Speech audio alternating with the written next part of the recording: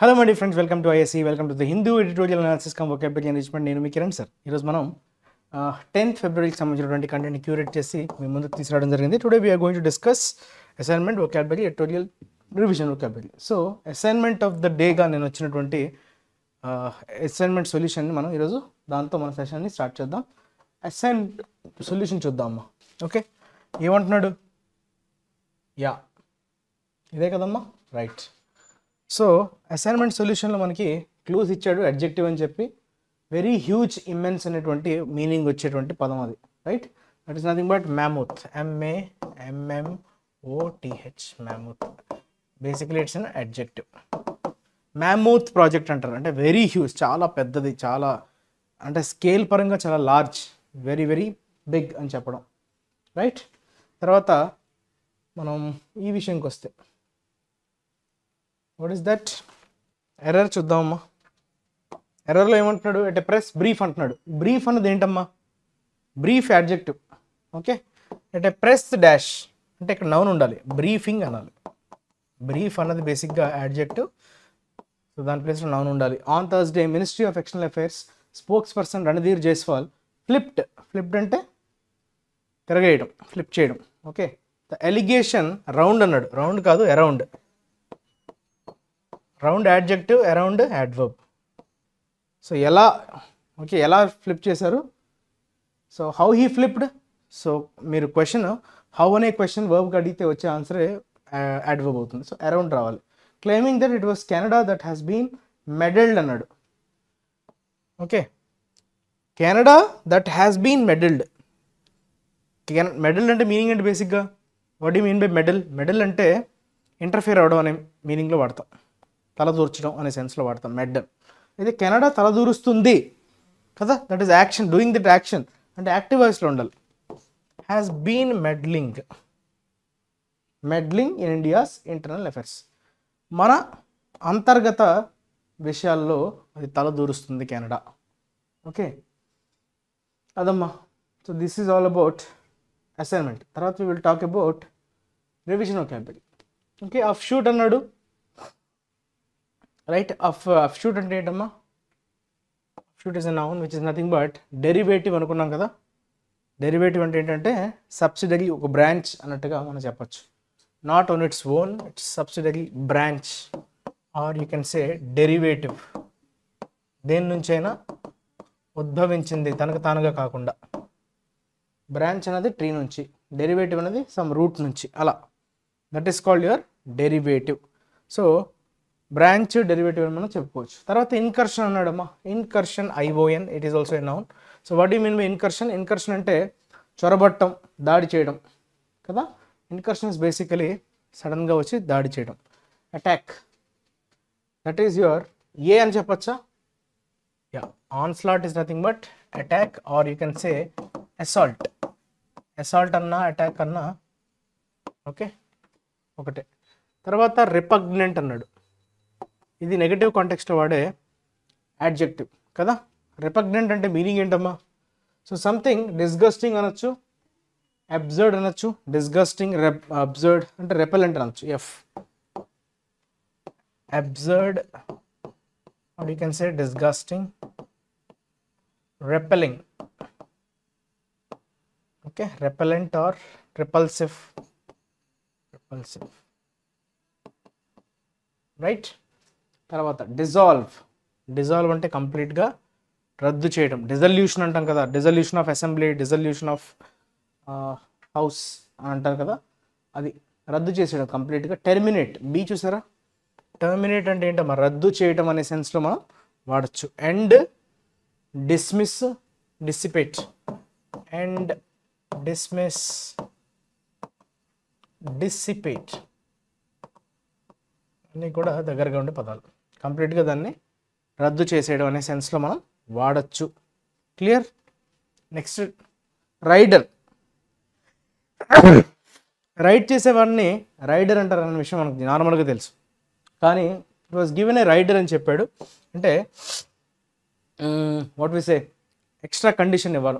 ఒక extra condition గురించి మనం దాన్ని మెన్షన్ చేసేటప్పుడు it was mention in a rider అంటాం. రైడర్ అంటే it was given an extra information extra what is a condition or provision condition or provision అంటాం. ఒప్పుకున్న దానికి ఒక ఎక్స్ట్రా కండిషన్ని యాడ్ చేయడాన్ని రైడర్ అంటాం. ఓకే ముఖ్యంగా పేర్కొనదగ్గటువంటి ఒక కండిషన్ తర్వాత ఎవెన్యూ నౌన్ ఎవెన్యూ అంటే దారి. We don't have any other avenue అంటే మాకు ఏ దారి లేదు అని చెప్పడం. రూట్ అనొచ్చా route so it can be route or you can say path method approach route path way method approach ఇవన్నీ కూడా దగ్గరగా ఉండే పదాలు.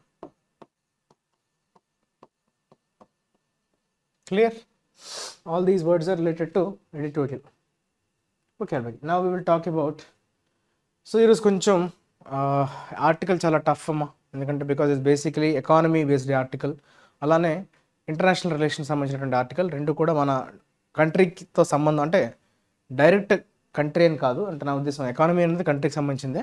కాకపోతే అంత ఎకానమిక్ టర్మ్స్లో ఉంటాయి కాబట్టి కొంచెం మనకి ఒకాలబరీ పాయింట్ ఆఫ్ వ్యూలో ఏదైనా ఎగ్జామ్ పనికి వచ్చేవని ఉంటే వాడిని మనం చూసే ప్రయత్నం అయితే చేద్దాం.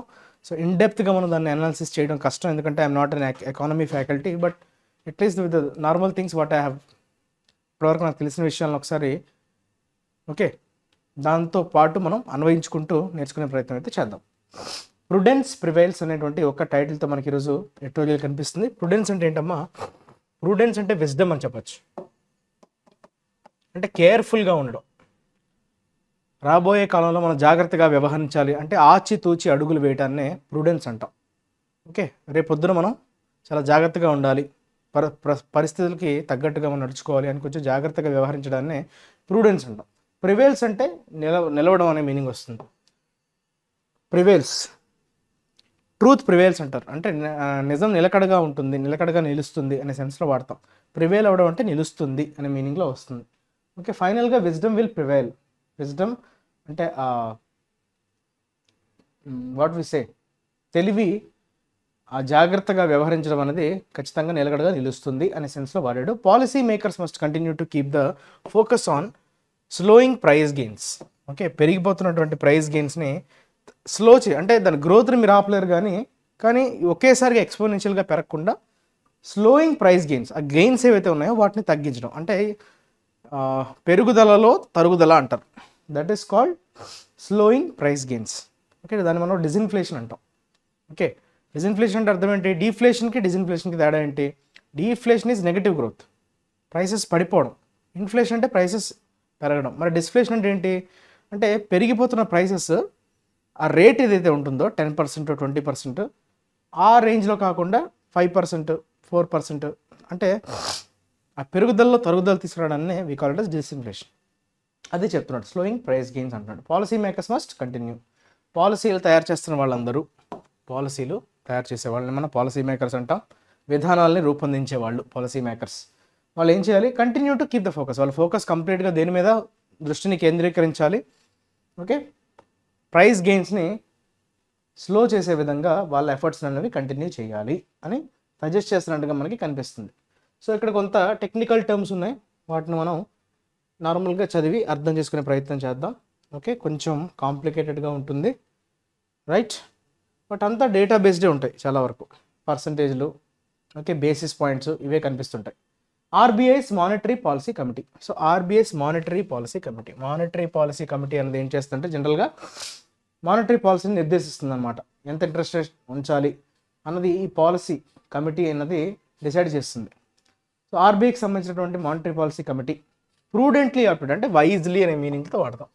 చాలా తెలివిగా చాలా జాగ్రత్తగా ఓకే ఆప్టెడ్ అంటే ఎంచుకుంది. టు పర్సిస్ట్ అంటే టు కంటిన్యూ పర్సిస్ట్ అంటే ఏంటమ్మా? మీనింగ్ కంటిన్యూ వర్బ్గా వాడాడు. With its objective with its goal with its aim కదా?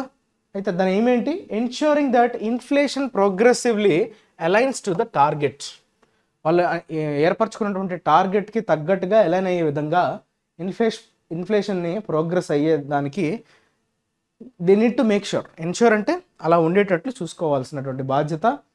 ఓకే ఆర్బీఐకి చెందినటువంటి మానిటరీ పాలసీ కమిటీ అనేది చాలా తెలివిగా ఆప్ట్ చేసుకుంది.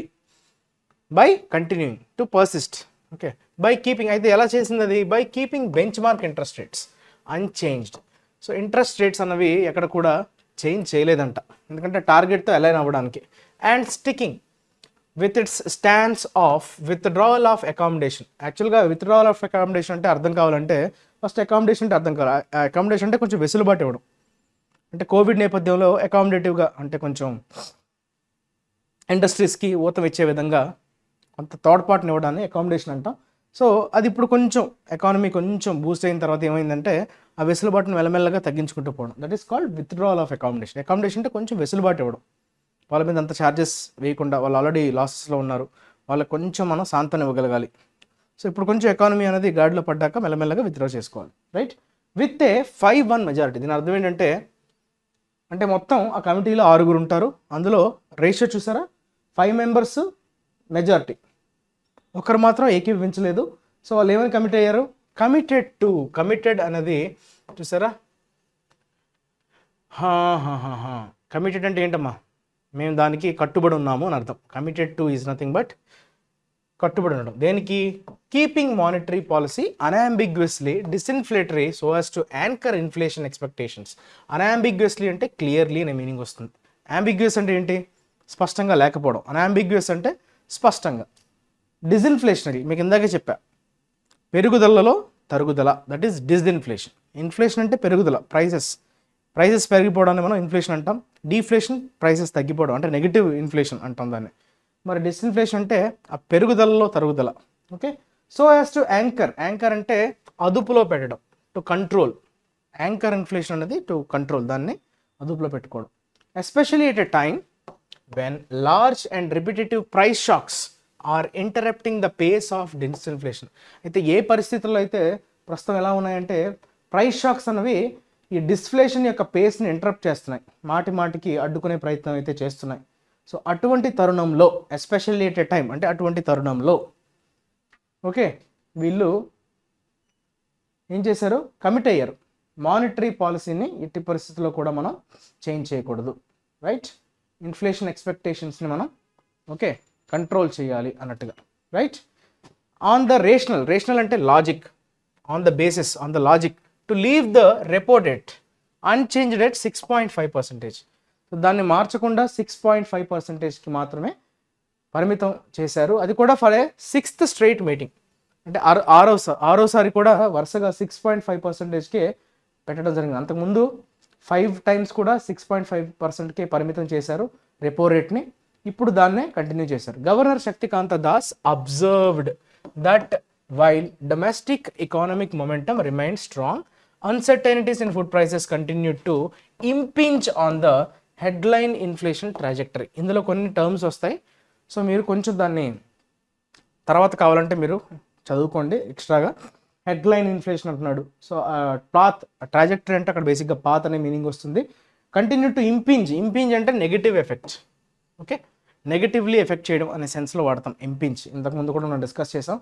అన్సర్టైనిటీస్ అంటే అక్కడ అవక ఏమంటామమ్మా నో ష్యూరిటీ కదా. సో అక్కడ అంత అస్తవ్యస్తంగా ఉండడం uncertainties economic momentum remain strong అంటాడు. డొమెస్టిక్ ఎకానమిక్ మొమెంటం అదైతే బలంగానే ఉంది. అబ్జర్వ్డ్ దట్ అంటే ఆయన పేర్కొన్నారు. ఏమని పేర్కొన్నారంటే డొమెస్టిక్ ఎకానమిక్ మొమెంటం అయితే స్ట్రాంగ్గానే ఉంది. కాకపోతే ఫుడ్ ప్రైసెస్ సంబంధించినటువంటి ఈ ఇష్యూస్ అన్నవి ఏమవుతున్నాయి? చాలా వరకు అన్సర్టైన్గా ఉంది. సో అది ఖచ్చితంగా హెడ్లైన్ ఇన్ఫ్లేషన్ ట్రాజెక్టరీని అయితే ఇన్ఫ్లుయెన్స్ చేస్తుంది. The tangible risk that food price pressures could become more generalised and impact broader headline inflation was the main consideration he explain tangible risk అంటే మనకి కనబడే risk which we can feel which we can have అంటే దాని ఏమంటాం? ఆ రిస్క్ని మనం క్లియర్గా చూడగలగడం right when you're able to feel that experience that that is called basically tangible okay when you are able to experience that food price pressures could become more generalised okay food price పెరుగుదల అన్నది బాగా పెరిగే అవకాశం అయితే ఉంది.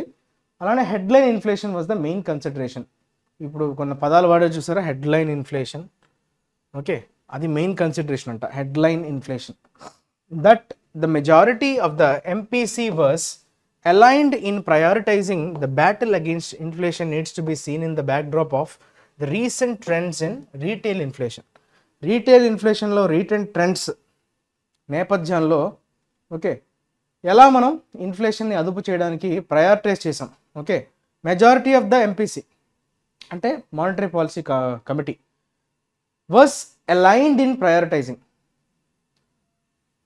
priority చేసుకుందనమాట అంటే ప్రాధాన్యతల్ని ఎంచుకుంది. దేనికోసం? ఈ ఇన్ఫ్లేషన్కి ఎగెనిస్ట్గా యుద్ధం చేయడంలో. Okay? In the backdrop of అయితే దీని ఏ నేపథ్యంలో చెప్తున్నాడు? In the recent trends. Retail ఇన్ఫ్లేషన్లో వచ్చినటువంటి రీసెంట్ ట్రెండ్స్ని ఈ యొక్క నేపథ్యంలో. Headline retail inflation which had eased from July's fifteen month peak of seven point four percentage to four point eight seven percentage in October however rebounded to a four month high of five point six nine percentage in December చూసారా? ఈ facts చెప్తున్నాడు. Fifteen మంత్స్లో July's fifteen month peak of eased అంటే బాగా తగ్గింది. Is అంటే తగ్గిపోవడం. Okay seven point four percentage నుండి four point eight seven percentage అక్టోబర్కి July నుంచి అక్టోబర్కి ఫిఫ్టీన్ మంత్స్ గ్యాప్లో సో ఈజ్ అయ్యింది. ఏదమ్మా? హెడ్లైన్ రీటైల్ ఇన్ఫ్లేషన్ అంట. హవెవర్ రీబౌండెడ్ అంటే మళ్ళీ బౌన్స్ బ్యాక్ అయింది. రీబౌండెడ్ అంటే మళ్ళీ తిరిగి పుంజుకుంది అనే సెన్స్లో వాడతాం. Four month high. ఫోర్ మంత్స్లో మళ్ళీ high five point six nine percentage. October November December. Five point six nine పర్సెంటేజ్కి మళ్ళీ పెరిగిందంట. With food price gains gauged gauged అంటే measured by the consumer food price index racing ahead to nine point five three percentage sizeable two ninety two basis points faster than October six point six one percentage so ఈ food price gains ఏవైతే ఉన్నాయో వీటిని measure చేసేది ఏదమ్మా? Consumer food price index CPI అంటారు. Okay అదొక సూచి. So అది ఫుడ్ ప్రైస్ గెయిన్స్ని అది మెజర్ చేస్తుంది.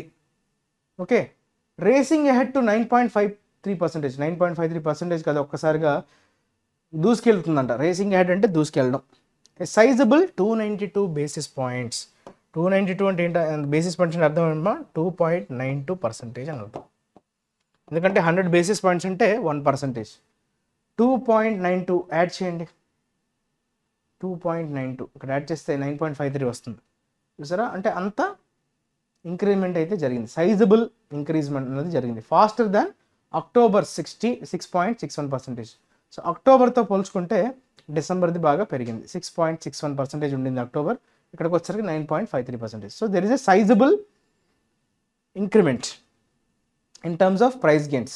Okay that is measured by consumer food price index right తర్వాత. That the uncertainty surrounding food price gains has begun to vex policy makers is reflected in a recent RBI bulletin article that pointedly sought to find an answer to the question are food price is the true core of India's inflation uncertainty అనిశ్చితి okay ఈ అనిశ్చితి వల్ల దేన్ని దేన్ని surrounding చేసుకుని దేన్ని ఆనుకుని ఉంది సరౌండింగ్ ఫుడ్ ప్రైస్ గేమ్స్ ఈ అన్సర్టైనిటీ ఏదైనా ఉందో ఫుడ్ ప్రైస్ గేమ్స్ని ఫుడ్ ప్రైస్ గెయిన్స్కి సంబంధించి it has begin to vex బాగా చిరాకు తెప్పిస్తుంది పాలసీ మేకర్స్కి ఓకే వాళ్ళు వెక్స్ అయిపోయారు అంటే బాగా చిరాకు పడ్డారు చిరాకు పడుతున్నారు. ఈజ్ రిఫ్లెక్టెడ్ అయితే వాళ్ళు రిఫ్ విక్స్ అవుతున్నట్టుగా ఎలా రిఫ్లెక్ట్ అయిందంటే ఒక రీసెంట్ ఆర్బీఐ బులెటిన్ ఆర్టికల్ వారు ఏదైతే రిలీజ్ చేశారో అందులో క్లియర్గా ఏమని పాయింట్అవుట్ చేశారంట? Sought to find an answer వాళ్ళ యొక్క ఆన్సర్ని కోరుకున్నారు. ఓకే ఏంటా క్వశ్చన్ దేనికి సంబంధించినటువంటి క్వశ్చన్కి ఆన్సర్ అది? Are food prices the true core of India's inflation అవి నిజంగా ఇండియా యొక్క ఇన్ఫ్లేషన్ యొక్క core main true main point అదేనా? ఏంటి ఫుడ్ ప్రైసెస్ అయినా అని అడుగుతున్నాడు. Concluding that there is enough empirical evidence to support an assertion that there are times when food inflation mimics core inflation food inflation పెరగడం వల్ల core inflation పెరుగుతుంది. Mimics అంటే reflect అంటే దానిలానని మిమిక్ చేయడం అంటే ఏంటమ్మా? కాపీ చేయడం అనే మీనింగ్ వస్తుంది. సో ఇక్కడ ఎలాంటి ఎఫెక్ట్ వస్తుందో అలాంటి రిజల్ట్ ఇక్కడ కూడా కనిపిస్తుంది అని అర్థంలో చెప్తున్నారు. ఎంపెరికల్ ఎవిడెన్స్ అంటే అర్థం ఏంటంటే థియరిటికల్గా కాదు ప్రాక్టికల్గా empirical evidence means there is some solid evidence to support an assertion assertion అంటే మీరు అనుకున్నటువంటి ఒక భావన జనరల్ భావన. ఏంటది? There are times when food inflation mix core inflation core inflation food inflation చాలా వరకు కాపీ చేస్తుంది. దానిలానే ఇది కూడా ప్రవర్తిస్తుంది అన్నట్టుగా. The officials caution that given food substantial share in the consumption basket large and repeated food price shocks have the potential to ripple outward and undermine the goal of price stability by de-anchoring inflation expectations చూసారా? ఏమంటున్నాడు? Officials caution చేస్తున్నారు. అప్రమత్తం అయ్యేలాగా చూడమ చూడండి అన్నట్టుగా warn చేస్తున్నారు. That given అంటే condition ఏంటి? ఫుడ్స్ సబ్స్టాన్షియల్ షేర్ సబ్స్టాన్షియల్ అంటే ఏంటంటే అర్థం? సబ్స్టాన్షియల్ ఈజ్ బేసికలీ యూజ్ అవుతుంది అడ్జెక్టివ్ సో గణనీయమైనటువంటి దాని షేర్ కన్జంప్షన్ బాస్కెట్లో చూసుకుంటే కన్జంప్షన్ బాస్కెట్లో చాలా ఐటమ్స్ ఉంటాయి. అందులో ఫుడ్ షేర్ అనేది ఒకటి right so large and repeated food price shocks రిపీటెడ్గా చాలా ఎక్కువ మోత ఎక్కువ సంఖ్యలో ఐ మీన్ ఎక్కువ what we say what we say అమ్మా? Large and repeated food price shocks అది రిపీటెడ్గాను ఉంటుంది అలానే లార్జ్గా కూడా ఉందంట. ఆ ఫుడ్ ప్రైస్ షాక్స్ అనేవి అంటే పెరుగుదల అనమాట సో అది దేనికి దానికి ఉన్నటువంటి పొటెన్షియల్ ఏంటి? To ripple outward. అంటే రిపిల్ ఎఫెక్ట్ అంటే అర్థం ఏంటంటే బేసిక్గా ఎప్పుడైనా ఏదైనా ప్రాబ్లం జరిగిందనుకోండి మనం ఒక రాయి వేసాం అనుకోండి చెరువులో సో రిపిల్స్ అనేవి క్రియేట్ అయ్యి అక్కడ మిగతా వాతావరణాన్ని డిస్టర్బ్ చేస్తుంది. ఎక్కడైతే రాయి పడిందో అక్కడ మాత్రమే డిస్టర్బెన్స్ కాదు దాని చుట్టుపక్కల మిగతా ప్రాంతాలకు అది వ్యాపిస్తుంది కదా. ప్రాంతాలు అనకూడదు కానీ దాని చుట్టుపక్కలకి అది వ్యాపిస్తుంటుంది. దాని ఎఫెక్ట్ అనేది రిపీల్ చేస్తుంటుంది. అది చెప్పాడు ఇక్కడ.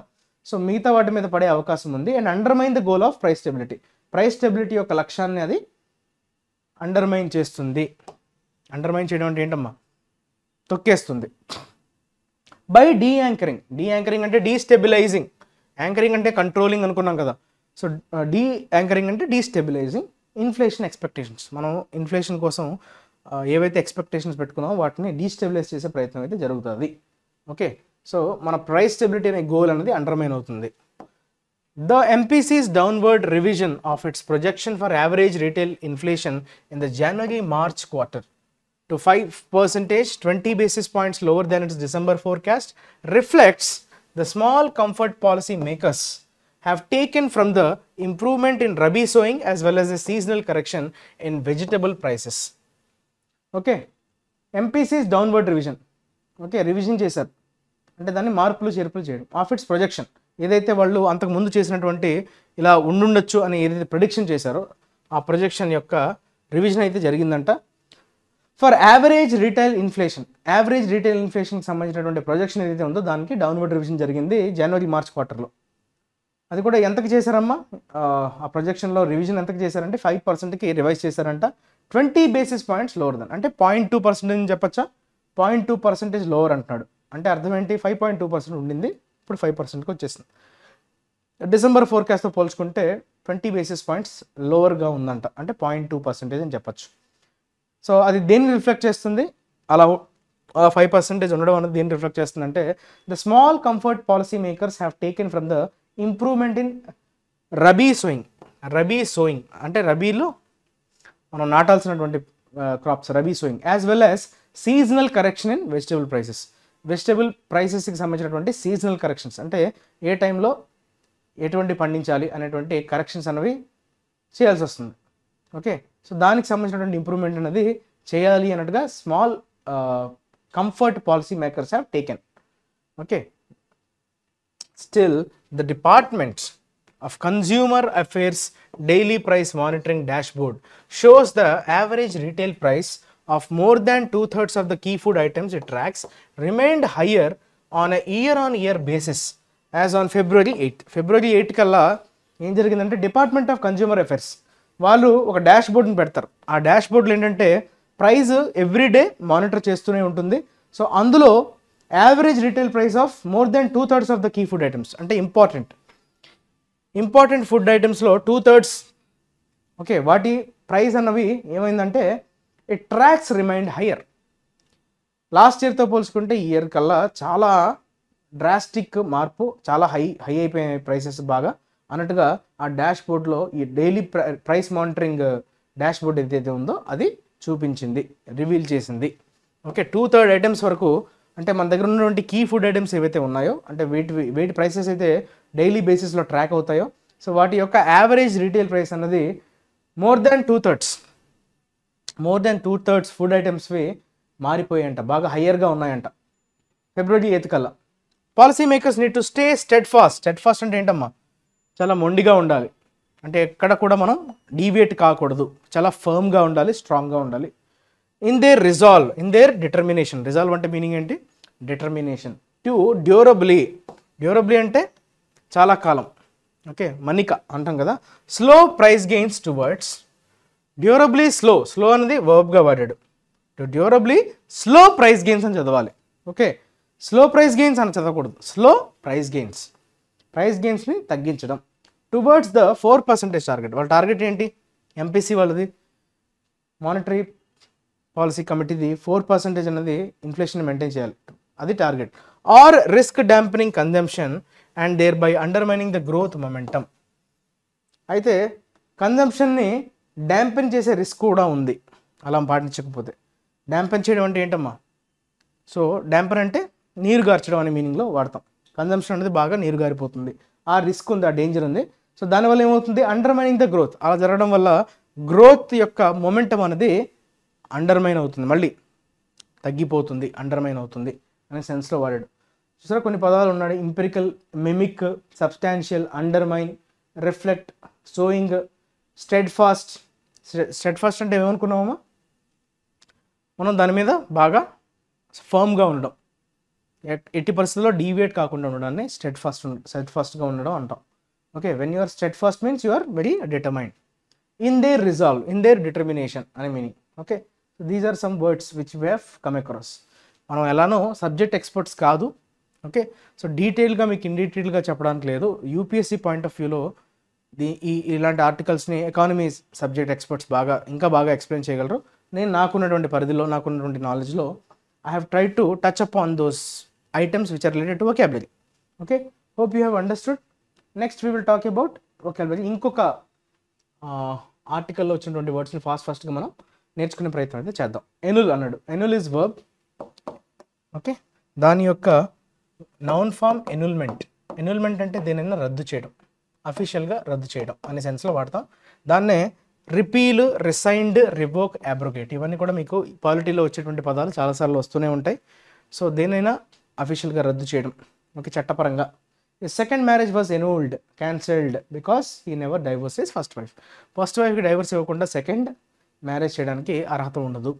క్యాన్సిల్ అయిపోతుంది. ట్యాంక్డ్ బబ్గా వాడడము. ట్యాంక్డ్ని వర్బ్గా వాడితే అర్థం ఏంటంటే ఫ్లాప్ బోల్తా పడింది అంటారు చూసారా? కొలాప్స్ అయిపోయింది ఫెయిల్ అయిపోయింది. మూవీ బాక్స్ ఆఫీస్ వద్ద బోల్తా పడింది tanked at the box office. అంటే బోర్లా పడింది ఫెయిల్ అయిపోయింది కొలాప్స్ అయిపోయింది. Next culminate culminate verb culmination noun culmination అంటే ఎండింగ్ అనే మీనింగ్తో వాడతాం. కల్మినేషన్ అంటే ఎండింగ్ ఓకే? మొత్తం అయిపోయింది కథమైపోయింది. అయిపోయింది టెర్మినేట్ ఫినిష్ వైండ్ అప్ ఎప్పుడు వైండప్ అని అంటాం? సో ఇప్పుడు ఇఫ్ ఎవ్రీథింగ్ ఇస్ కంప్లీట్ అంతా అయిపోయింది. Terminate finish culminate their many years of research are finally culminated in a cure for the disease ended in a cure culminated అంటే ended okay terminated క్లైమాక్స్కి వచ్చేసింది అంటాం కదా దట్ ఈస్ క్రంబుల్ క్రంబుల్ అంటే ఏంటమ్మా? చితికిపోవటం. క్రంబుల్ అంటే చితికిపోవటం. డిజంటిగ్రేట్ డీకే డీజనరేట్ అన్ని డి వచ్చేసి చూసారా? డిస్ డి అంటే negative word crumble into pieces. Okay crumble. పేపర్ని క్రంబుల్ చేస్తాం కదా. క్రంబుల్ అంటే నశించిపోవడం బ్రేక్ అయిపోవడం ముక్కల కింద డిసింటిగ్రేట్ అయిపోవడం. ఓకే చిదిగిపోవడం నలిగిపోవడం అనే సెన్స్లో వాడతాం. Next scan scandal is a negative word కుంభకోణం అంటాం. కుంభకోణాన్ని స్కాండల్ అంటాం. రాంగ్ డూయింగ్ ఆర్ క్రైమ్ అంటే నార్మల్గా చిన్న చిన్న చితక క్రైమ్ కాదు పెద్దది. ఓకే కొన్ని కోట్ల అంటే చాలా హై స్కేల్లో ఉండేటువంటి ఒక కుంభకోణాన్ని మనం స్కాండల్ అంటాం. If there is the slightest suggestion of scandal the public will no longer trusts public ఎప్పుడు కూడా మనల్ని ఇంకా నమ్మరు. చిన్న స్కాండల్ జరిగింది అనేటువంటి ఒక చిన్న హింట్ దొరికినా వాళ్ళు మనల్ని నమ్మరు. ఓకే స్కాండల్ కుంభకోణం. Defy defy is basically verb defy negative అంటే డిజోబే చేయడం. అంటే చేసే పనిని మీరు దాన్ని ఎగనిస్ట్ చేయడం. ఓకే దేనైనా వ్యతిరేకించడం డిస్రెస్పెక్ట్ చేసే విధంగా చేయడం దట్ ఈస్ కాల్డ్ ఫ్లౌట్ అనొచ్చు రెబెల్ అనొచ్చు. రెబెల్ అంటే ఏంటి? వారికి ఎగనిస్ట్గా మీరు వెళ్ళడం. ఫ్లౌట్ అన్నా అంతే వైలేట్ చేయడం. దేనైనా మీరు ఫ్లౌట్ చేశారు అంటే ఆ నామ్స్ని మీరు పాటించలేదు. ట్రాఫిక్ నియమాల్ని ఫ్లౌట్ చేశాడు అంటే వైలేట్ చేశాడు. అంటే ఖాతర్ బేఖాతర్ చేయడం అది. బేఖాతర్ అంటాం కదా అది డిఫై చేయడం. Few workers have defied the majority decision and gone in to work despite the strike strike ఉన్నప్పటికీ బేఖాతర్ చేశారు. సరే డిస్రెస్పెక్ట్ చేసినట్టుగా కదా? డీఫై చేయడం అంటే బేఖాతరు చేయడం. To refuse to obey a person decision law situation etcetera అంతే కదా? ఖాతరు బేఖాతరు. That is defy to fall prey అంటే దేనికైనా మీరు ఇన్ఫ్లుయెన్స్ అయిపోవడం. టు ఫాల్ ప్రే అంటే మీరు ఇంకొకరికి ఆహారం అయిపోయారు. అంటే మీరు మిమ్మల్ని వారు ఎక్స్ప్లోర్ చేశారు అనే మీనింగ్లో వాడతాం to be influenced by someone or some something we worry that our children will fall prey to the influence of bad kids okay వారి ఇన్ఫ్లుయెన్స్లో పడిపోతారేమో అనే భయం అయితే ఉంది టు ఫాల్ ప్రే ఓకే మనం ఎక్స్ప్లాయిట్ అయిపోతారు మన పిల్లలు అన్నట్టుగా భయపడ్డాం. లాబీ చేయడం. ఇది వినుంటారు మీ మీకు జనరల్గా లాబీ అనేది నౌన్గా వాడతాం. ఒక పెద్ద ఎంట్రన్స్ని ఉద్దేశించి లాబీ ఎయిర్పోర్ట్ లాబీలో కూర్చున్నారు. ఎయిర్పోర్ట్ లాబీ అంటే అక్కడ పెద్ద మెయిన్ ఎంట్రన్స్ని మనం లాబీ అంటాం.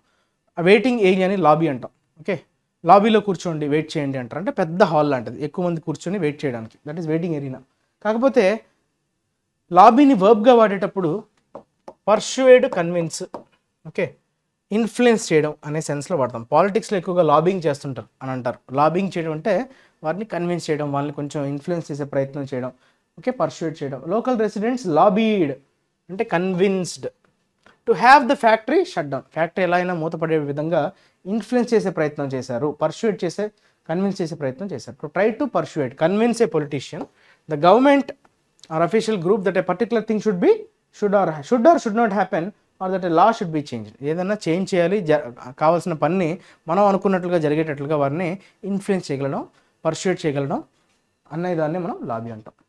ఓకే అసైన్మెంట్ చూద్దామా అసైన్మెంట్ ఆఫ్ ద డే చూడండి. సో దాన్ని ఒక్కసారి మీరు ఆన్సర్ చేసే ప్రయత్నం అయితే చేయండి. Okay?